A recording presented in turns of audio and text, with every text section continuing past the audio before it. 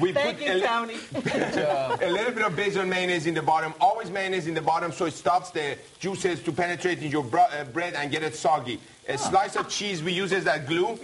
Then what we're going to do is we're going to put the slices of tomato. Why? Because now the heat of the turkey is going to melt the cheese and the turkeys, the tomatoes are going to stick to it. So when you bite, the turkeys are not going to go everywhere. Yum, yum.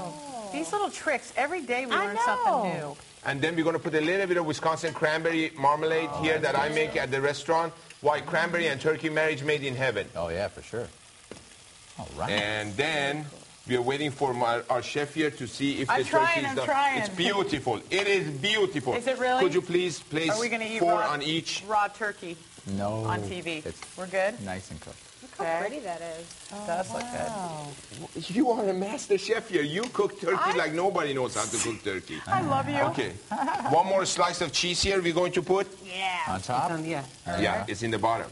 I'm looking for it somewhere else. There we go. And wow, that then- looks amazing. Wow. You're going to take the avocado. Avocado. Ladies and gentlemen, I'm using my hand because I'm eating it myself. So, yeah, so, All the people that get upset. I don't mind your hand. Yeah, exactly. We'll eat it. right there. Look at that. there you go. All right, Now cool. that's Now, a turkey burger Let's with talk some about the nutrition in this because you got tons of protein in this. It's tons of protein, great fats, tomato with all the antioxidant and the good bread that is not full of preservatives and is made with the rosemary ciabatta. So this is Where do you buy a rosemary ciabatta? Uh, I have it uh, brought in from uh, Chicago.